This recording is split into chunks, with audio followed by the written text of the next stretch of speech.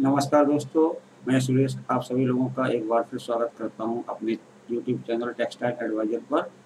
दोस्तों, आज हम डिस्कस करेंगे कि woven fabric length shrinkage after dyeing और प्रोसेजिंग कितनी होती है और क्यों होती है और एक्चुअल में श्रिंकेज होती है कि नहीं होती है। तो दोस्तों, इसके पहले कि मैं डिस्कशन शुरू करूँ, मैं आपको कहूँगा कि यदि आपने अभी तक मेरे चैनल को सब्सक्राइब नहीं किया है तो कृपया मेरे चैनल को सब्सक्राइब कर लीजिए और साइड में लगा हुआ बेल आइकन दबा दीजिए, जिससे कि हमारे आने वाले अपकमिंग वीडियोस के नोटिफिकेशन आप तक पहुँचते रहेंगे। तो चलिए दोस्तों डिस्कशन शुरू करते हैं। जैसे कि आप स्क्रीन के माध्यम से देख पा रहे हैं कि आज का टॉपिक है woven fabric length shrinkage after processing means dyeing के बाद में आपका कपड़ा कितना सुकुड़ता है तो उसके बारे में आज हम डिस्कस कर रहे हैं और आपको हम कैलकुलेशन करके भी दिखाएँगे कि एक्चुअल में क्या होता है। कपड़ा सिकुड़ता है या बढ़ता है? वो बढ़ता है तो कितना बढ़ता है? और सिकुड़ता है तो कितना सिकुड़ता है दोस्तों? तो सबसे, इसके पहले कि मैं कैलकुलेशन के बारे में बताऊँ, मैं आपको कुछ चीज़ें बताना चाहता हूँ दोस्तों कि एक्चुअल में क्या होता है। तो दोस्तों, ये जो टॉपिक है इसमें क्या होता है कि कभी भी आप जब अपने फैब्रिक को किसी डायर के पास भेजते हैं तो वो ऑलवेज क्लेम करता है कि, सर, इसमें तो दो परसेंट श्रिंकेज आएगी, तीन परसेंट श्रिंकेज आएगी। तो एक्चुअल में श्रिंकेज होती भी है या नहीं होती है? और क्या होता है कि आपसे वो श्रिंकेज ले लेता है, आपकी जितनी लेंथ आपने दी है, उससे कम देता है आपको, दो परसेंट दे, तीन परसेंट दे, जैसा भी आपके साथ में डिस्कशन में फाइनल हो जाता है। तो दोस्तों, अगर आपकी श्रिंकेज हो नहीं रही है और वो आपसे ले रहा है तो क्या होता है कि आपकी जो कॉस्टिंग होगी, वो बढ़ जाएगी। और दोस्तों, एक चीज़ और होती है, वो तो आपसे श्रिंकेज ले रहा है शॉर्टेज ले रहा है। बट आपके दिमाग में हमेशा एक क्वेश्चन कौनता रहता है कि एक्चुअल में श्रिंकेज होती भी है कि नहीं होती है दोस्तों?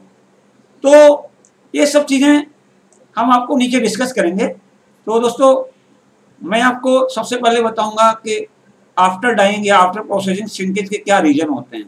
तो the reason of the fabric shrinkage after processing तो सबसे पहला रीजन होता है कि जब भी हमारा कपड़ा आरएफडी होता है आरएफडी मतलब रेडी फॉर डाइंग होता है, या that is also called as scoring तो जब हमारा कपड़ा स्कोरिंग होता है तो उसके साथ में कास्टिक सोडे से ट्रीटमेंट किया जाता है कपड़े के साथ में।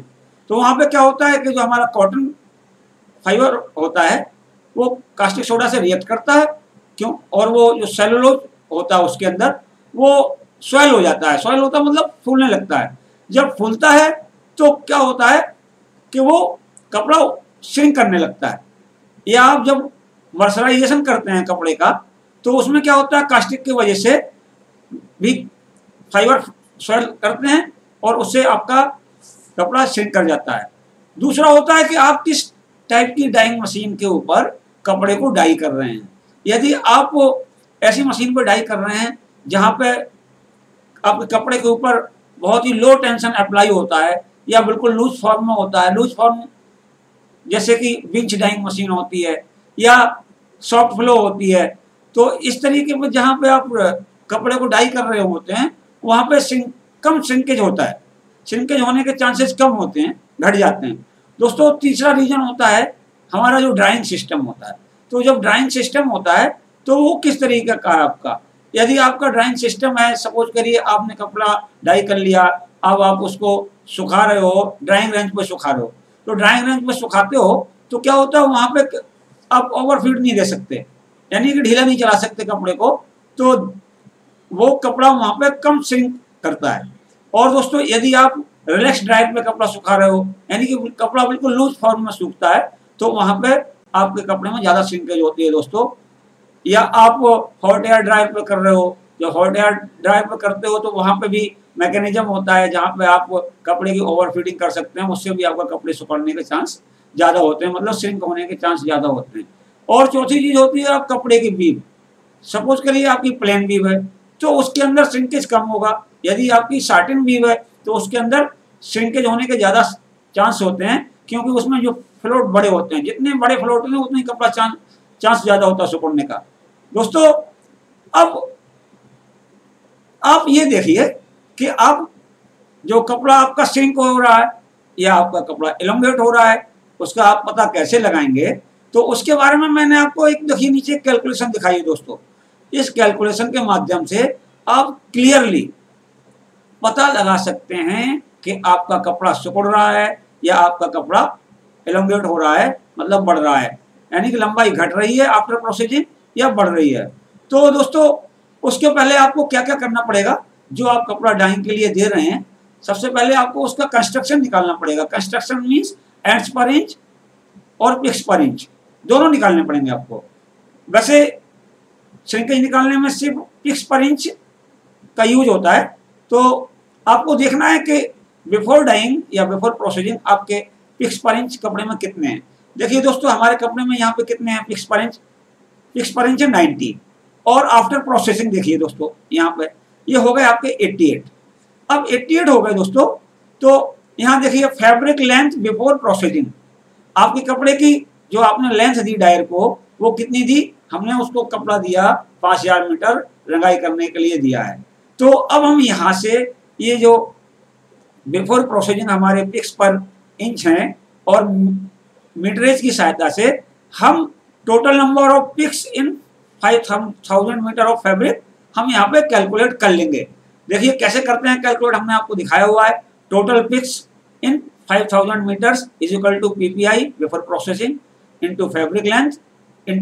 to PPI before processing into fabric length into 39.37 39.37 का गुणा इसलिए किया है कि ये जो 90 पिक्स हैं, ये एक इंच में है तो ये हमने 39 का गुणा किया तो ये एक मीटर में आ गए और हमने मीटरेज को यहाँ पे गुणा कर दिया, फैब्रिक लेंथ ये मीटर में है तो तो उससे आपका आ जाएगा total picks in 5000 metre of the fabric, यानी कि 5000 मीटर में नंबर ऑफ़ पिक्स की संख्या आ जाएगी। कितनी आ गई आपकी? देखिए यहाँ पे हमने सारी वैल्यू पुट कर दी। 90 90 आपके पिक्स पर इंच है 5000 मीटर, ये लेंथ है into thirty nine point three seven ये आपकी दोस्तों आ गई।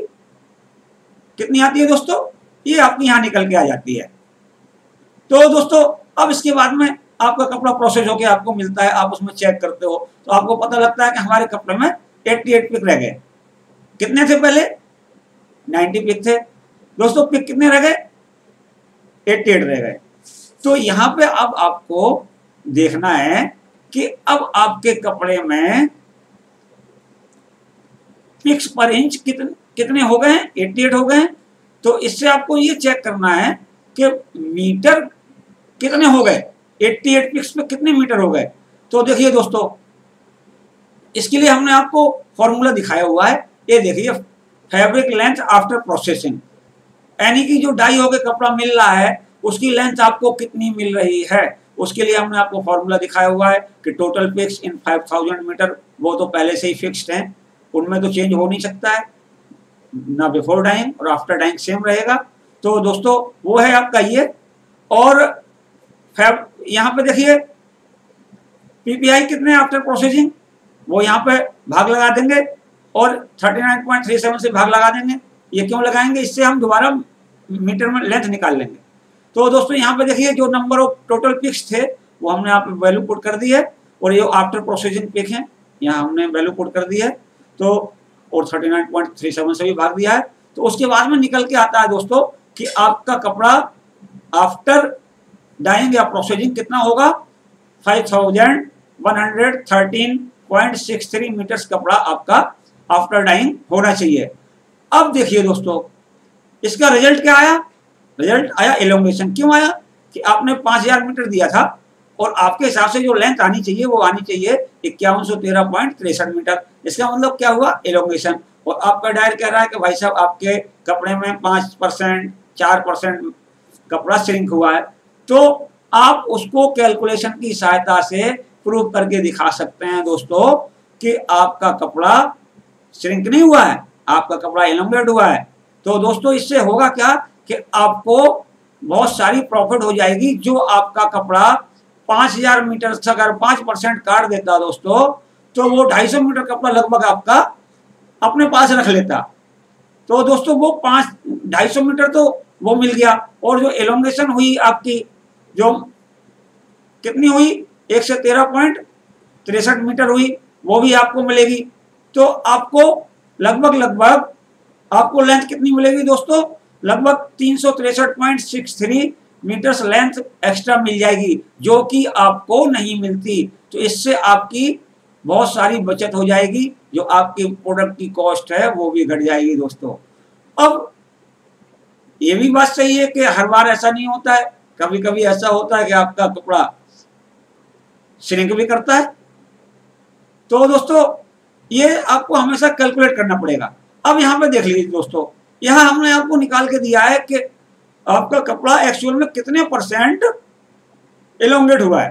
तो देखिए दोस्तों, ये फॉर्मूला होता है लेंथ एलोंगेशन मीटर में फैब्रिक लेंथ बिफोर प्रोसेसिंग तो इंटू हंड्रेड ये हो गया आपका इक्यावन सौ तेरह पॉइंट तिरसठ माइनस पाँच हज़ार डिवाइडेड बाई पाँच हज़ार इंटू हंड्रेड दोस्तों एक परसेंटेज में निकल के आता है two point two seven percent elongate हो गया। यहाँ पे देखिए दोस्तों, अब हम सपोज़ करते हैं कि आफ्टर प्रोसेसिंग आपके फिनिश कपड़े में पिक रह जाते हैं 93 हो जाते हैं। अब 93 पिक हो गए तो अब हम यहाँ पे फिर चेक कर रहे हैं, दूसरी क्वालिटी हो, कोई सी भी क्वालिटी हो, दोबारा में दिया सपोज़ करिए आपने पाँच हज़ार मीटर कपड़ा तो उसमें कितने पिक रह गए? 93 पिक रह गए पिक्स पर इंच रह गए। तो इससे हम देखिए लेंथ आफ्टर प्रोसीजिंग कितनी होगी आपकी? ये हो जाएगी, जितने टोटल पिक आपके पाँच हज़ार मीटर कपड़े में थे पिक तो बदलेंगे नहीं, जो पहले थे वही रहेंगे। और बदला क्या आपका? After processing picks per inch बदल गया सिर्फ़। तो हमने यहाँ पे वैल्यू पुट कर दी। तो जब हम इसमें सॉल्व करेंगे तो आपका ये रिज़ल्ट आएगा अड़तालीस मीटर। अब यहाँ पे देखिए, क्या रिज़ल्ट आता है? ये रिज़ल्ट आता है कि आपका कपड़ा श्रिंक हुआ है। तो श्रिंक कितना हुआ है? वो आप परसेंटेज में निकाल लीजिए। देख लीजिए दोस्तों, पाँच हज़ार माइनस अड़तालीस सौ अड़तीस point seventy divided by five thousand into hundred यानी कि आपका 3.22 परसेंट कपड़ा श्रिंक हो जाता है। तो इससे आप पता लगा सकते हैं इस कैलकुलेशन से दोस्तों कि आपका कपड़ा श्रिंक हो रहा है, आपका कपड़ा एलोंगेट हो रहा है। उसी हिसाब से आप उसको कपड़ा देंगे और उसी हिसाब से आप कपड़ा लेंगे। इससे आपको बहुत फ़ायदा होगा दोस्तों। कोई भी आपको बेवकूफ़ नहीं बना सकता है और आपको कॉस्ट प्रोडक्ट की कॉस्ट कटिंग करने में मदद मिलेगी। तो दोस्तों, आप देख करके बताइएगा कि मेरा वीडियो कैसा लगा। यदि आपको मेरा वीडियो अच्छा लगे तो कृपया लाइक करें शेयर करें। और एक और बात, यदि आपने अभी तक मेरे चैनल को सब्सक्राइब नहीं किया है तो कृपया करके मेरे चैनल को सब्सक्राइब कर लीजिए। धन्यवाद।